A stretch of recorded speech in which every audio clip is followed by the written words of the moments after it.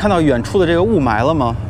大家好，欢迎来到这一期的罗北美关于洛杉矶雾霾的报道啊！不对啊，其实今天呢，我们要带大家来看一看全美国最厉害的一个漂移比赛，叫 Formula Drift。呃，我们罗报告呢，现在跟这个 Formula Drift 现在也是初步达成了一个意向，就是我们要在将来会有一个长期的合作。所以呢，今天呢，我们就第一次以这个合作伙伴啊，也同样也是媒体的身份来到了这个。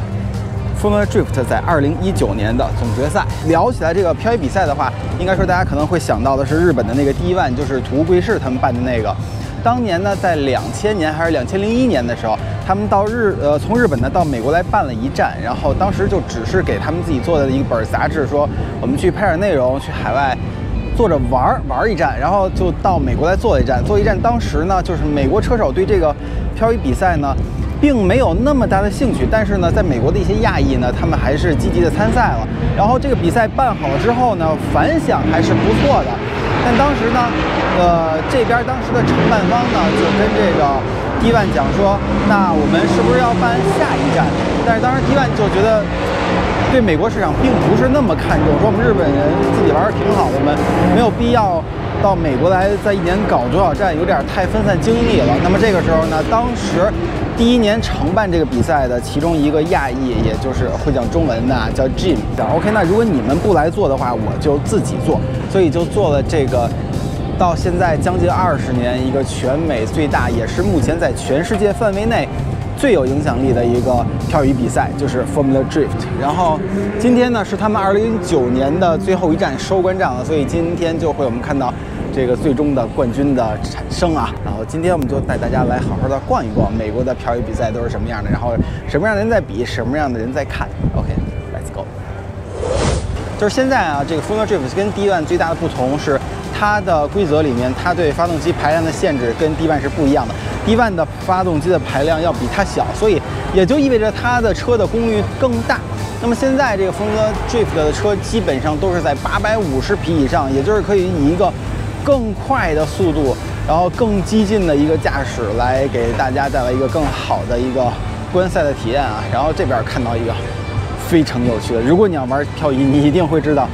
你看到这边了吗？一看到它你就知道这是什么了。对，这就是一台 A186，用来送豆腐的 A186。然后它这个比赛呢，现在是 Formula Drift 这个比赛呢，目前有三两个组别，Pro Champion 跟 Pro Pro Two Champion，然后。每个组别呢有三十二位车手，他们的比赛的规则是：第一天排位，排位之后呢，第二天两两对决，第一跟第三十二打，第二跟三十一打，这样一轮一轮的再决出他的一个冠军。然后这边算是他们的一个官方的一个展区啊。然后这个夸张的这个丰田的八六，加上了一台法拉利的引擎。对我相信很多如果看过国外的视频的。朋友应该看过这台车，当时它有一个自己漂移的那么一段视频，在 YouTube 上特别的火。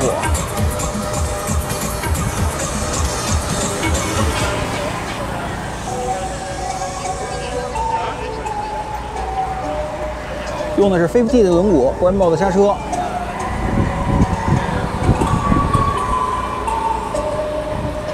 然后我们现在就走到后面批房这个地方。现在呢，因为我们来的比较早啊，所有人都还做在做准备呢。你看，像这个，看上去像一台这个丰田的八六，但是它其实里面的这个大的部分都已经完完全全改掉了，所以你不太，你拿你自己的车是完全无法达到这个效果的。包括它的这个发动机啊、涡轮增压啊、进气，包括这个底下的这个。车架的这个固定点，还有减震这一块儿，呃，Formula D 应该算是在美国这边这个轮胎赞助厂商最多的了。应该说，Formula Drift 已经算是美国或者全世界最大规模的一个漂移比赛。但其实我们走到后面，它批房这个区域空间呢，看可能跟我们常规想象的这种，呃，赛道里的批房感觉还不是太一样。对，可能也是因为这个赛车场比较特殊啊，所以他们每家都是自己。拉着一个很大的 trailer，我们然后拉着他们的赛车在前面支起几个帐篷，就总体来说比较简单一点的感觉。这个 Formula Drift 的规则啊，其实它对比赛的车辆呢，呃，原先最早的时候，它会要求你必须是一个后轮驱动的车，但其实呢，现在的话，如果你是一个四轮驱动，改成后轮驱动也是 OK 的。这个应该是一个老的 Supra，然后这边包括这个车队、车手，包括他们赞助商卖的一些周边，一些鞋呀、一些衣服呀这样的东西。然后这边这个机械师也是在给这个车换 NGK 的火花塞。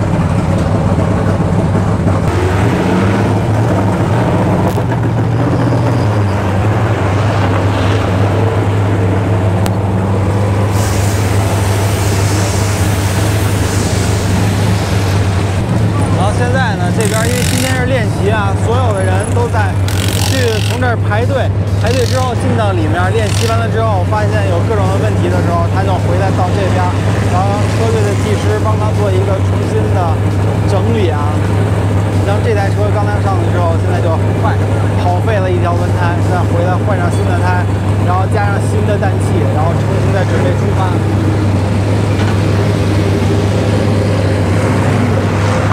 在这儿小心点啊！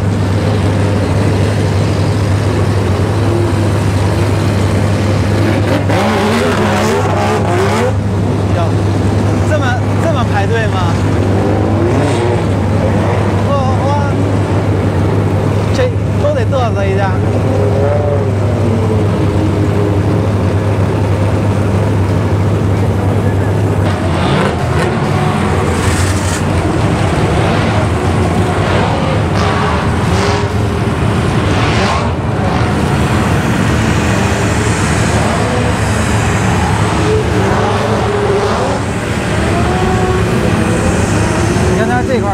意思啊，就是现在前面没有进气，所以他就用这么一个吹风的机器，现在给这个机器强制的一个进气降温。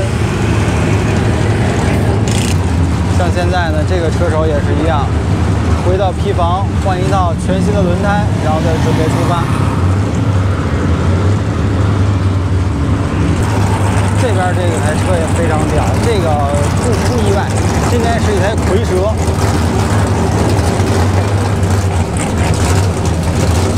对，那么现在我们就是走到这个赛道里面啊，啊，当然了，只有媒体才能进来。然后这边他们待会儿从那边发车，然后在那边转一圈，一圈回来之后呢，从那儿掉个头。现在发车了，所以再见。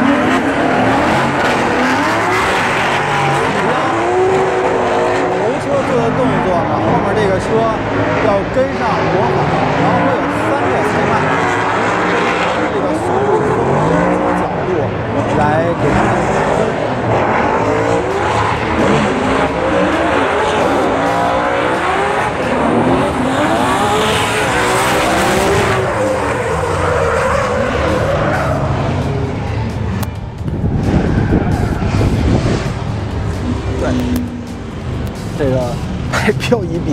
媒体记者真的都比较辛苦，就是我们现在在的这个地方，他们一定是会从这边。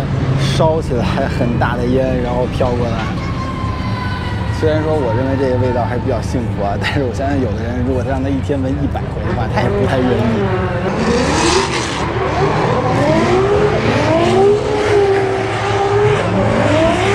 你们准备好了吗？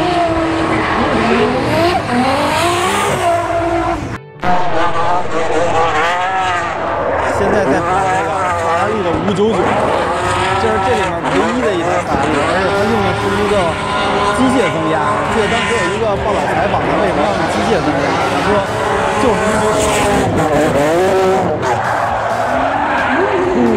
那么今天的这个活动呢，基本上我们就介绍到这里了，带大家感受一下美国的漂移比赛。然后今后我们也会这种比较接地气的美国的这种 car me 啊，这种比赛啊，也会继续做更多这样的内容。那么这一期罗北美到这就结束了。也是喜欢的朋友呢，希望你们点赞转发，下期再见，拜拜。